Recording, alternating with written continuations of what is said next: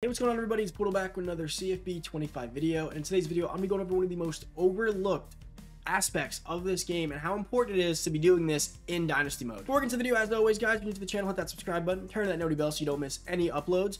Make sure you give this video a big thumbs up. Can we get 350 likes? And if you liked it right now, that'd be even better. And of course, guys, if you haven't already, head on down below to Underdog. My link will be down below in the description and the comments. They are having a generational run, as you call it, right? They are killing it with the content I've never seen anything like this. It is so much fun both to play and win over there, right? I recommend heading on down over there, making sure to use my code because not only does it support me, it also gives you guys much better bonuses than just signing up generically. I'm posting my picks on the YouTube community section as well as on Twitter all the time, so make sure you do follow me over there if you don't already. If you need any help signing up, let me know. The link's there. Everything else should be in place and have some fun. All right, guys, what you need to be focused on and what is so important are your coaching coordinators. I feel like this isn't talked about enough and I feel like see people are maybe approaching this wrong. So there's a few ways to approach a coordinator. You could have it match your head coach. You could have it be opposite of your head coach to spread the net, right? You could even have all three of them be opposites. Now, my personal opinion, I don't think having all of them opposites is a good idea because bonuses stack. And I'm going to be honest with you guys, when you stack those bonuses, it's important. And why I'm going to say this is because I've seen this in my, my other leagues as well. People who try to spread the net too wide tend to fail in this game. And I mean, that might be uh, even in real life, right? When you try to do too much, you're never, it's like the jack of all trades. Being good at everything means you're great at nothing. And if you're great at nothing, you're not going to succeed and do something really well. And in this game, you really want to pick. Like, are you going to be a great developer? Are you going to be a great recruiter? Are you going to be a great, you know, tactician? Are you going to be strategic on game day? So what I first recommend, either do a custom coach or you can pick the head coach as long as it has what you'd like. That's where I'd start. Pick a route. What I really like is Elite Recruiter and Motivator. Those are my two personally. I mean, there's some other great ones in Architect and in Talent Developer, but personally, they're too expensive. I don't see a world where I can I can actively go through these. Like, I don't want to just have the bonus on just quarterbacks, you know? I don't see a world where I can actively spend enough points on these unless you start a custom coach. I mean, even then, I think you want to focus on recruiter, motivator, program builder. I mean, if it comes with some stuff, but even that, I'm like, I think those are the two you want to focus on. What you want to be doing is making sure you grab certain coordinators. I feel like people just hire coordinators and don't focus. For also winning, boost your coordinator. I've had coordinators that were D's go up to A pluses in two seasons just by winning and succeeding. So you want to grow those coordinators, but when you get those boosts, oh my, are they crazy? So I recommend like when you go to recruit, make sure you have you hire coordinators that match what your coach has. So for me, on my coach, I got all of these up here up to I like to get them to about tier three. So on my, on my head coach my league, I got these all on tier three. So what I like to do from that point on is make sure I get recruiters that also have these unlocked or at least one row of them. Because when you have that, you get the extra hours. So people always ask, how do you get 80 hours? If you get all three recruiters or three coordinators on the tier three, you get 80 hours for the position. That is so unreal and so beneficial. And you also get the elite recruiter stuff. Also, when you get new coordinators, start going for top five classes again. You got to over recruit a little bit because if you have a new coordinator that doesn't have elite recruiter, if you get a top five class, two of them with him, they will progress and get elite recruiter. Obviously, eventually they'll leave, but it is a good way to keep elite recruiter on your coordinators and then motivator. So right here, for instance, I like this coordinator that it comes with John Boudreau. He comes with some elite recruiter stuff, right? That first row, awesome. I love tiers one through, I love tier one and two. That's great. And then he comes with this. Build him up a little bit. He'll start unlocking more of the tier three stuff. Then he comes with some motivator stuff. Awesome. Gives me some boost. Cool with that. Then our defensive coordinator has tactician and recruiter. So he's the kind of guy that I'm not too interested in. This is good and all, but I don't like that. So what I'd like to do is what you want to do really is when you get to the offseason, start looking at some recruits. So I'm going to go through and see what coordinators have certain recruiting packages that I want. I believe the main focus that you should be going for is trying to maximize what you're trying to do. So for me, recruiting and player development, I'll figure out the rest. So that's where I stand is where you want to get those. If you have if you have double offseason training boost, your players are going to grow that much faster. If you have get drafted early and get bonus boost, you're going to get growing that much faster. If you have better hours, double elite recruiter, you're going to be both a menace on the recruiting trail and then your recruits are going to grow.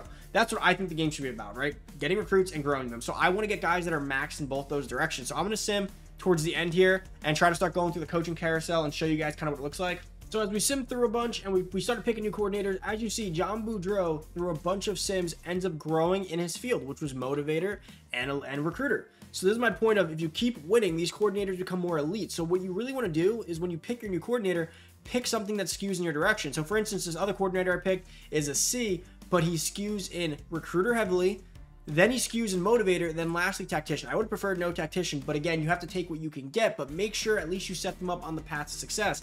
Look at these recruiting tabs. They are basically maxed all the way on top, basically maxed, which means you're going to get the hours boost for this guy.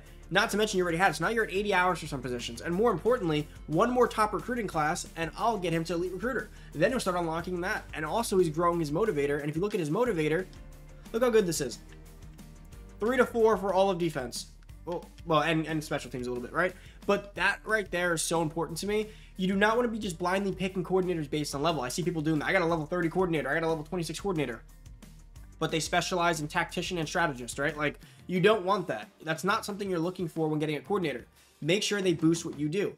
So for me, I'm a heavy. This is the coach I, I started with, right? So I'm a heavy recruiter. I obviously didn't want tactician, but I'm a heavy recruiter and I got some motivator going on, right? So we got a little bit here and heavy recruiter. So I want a guy that's going to complement me. Why? Because if you have a guy that just does the opposite of what you do, it's not going to be that beneficial in my opinion. Because other coaches are going to be doubling up on packages. You're going to not end up winning recruits. You're going to not end up growing, pe- outgrowing people.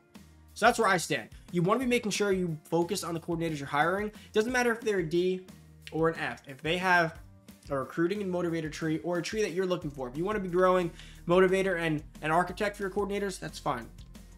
But make sure they lean in the direction that you're trying to grow because that's also the direction they're going to grow in. As you see each season, this guy's gotten better at recruiting and motivating.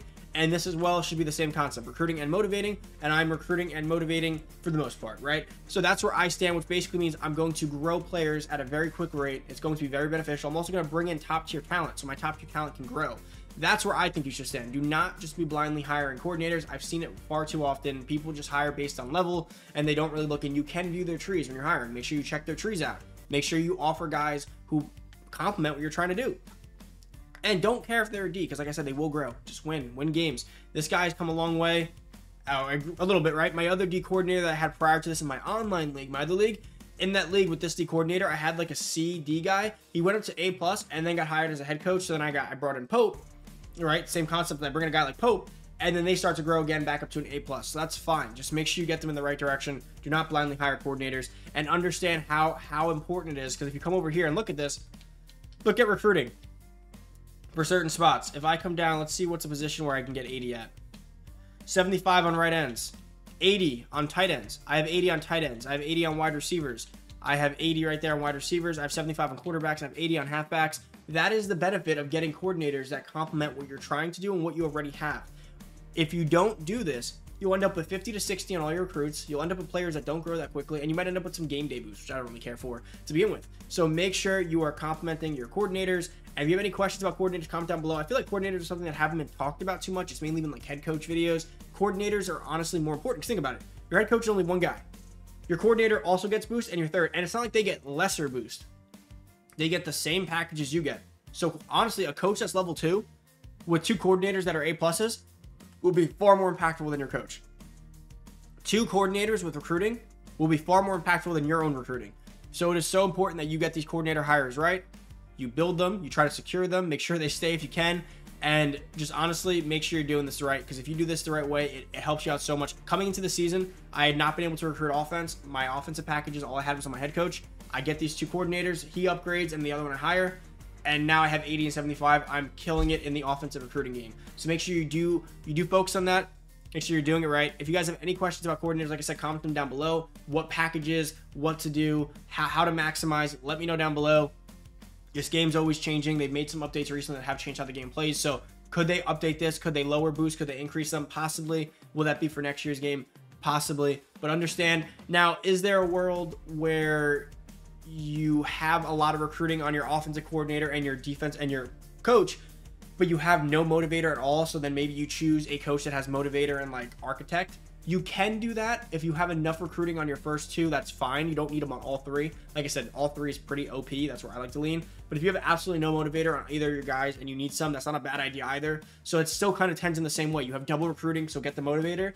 But if you have, but I wouldn't just go off track and get like strategist as your third guy. Like I would go in that realm of trying to complement both, right? Because that's basically what these are. And you can't max out a coach. As as seen, level 50 is the max. You cannot get everything. You kind of have to. I like to call it like it's almost like 2K, right? Like a 3 and D guy, a shooter, a driver, and a dunker. Like you want to be going for something that complements it, and I, I, I think those are the two that you want to be trying to max. And if you're going to maximize anything else, like I said, maybe like the architect ones, but they're too expensive in my opinion. So maybe if a coordinator comes with those packages, it's it's nice. It's nice because you don't have to pay for them, but it's tough. So yeah, guys, that's about it for the video. Hope you did enjoy. Use the channel, hit that subscribe button, turn that noty bell. Can we get 500 likes in this video? Like the video if you made it this far, and make sure to check out Underdog. Use code POODLE so you do not miss out on your bonuses. I'm out. Peace.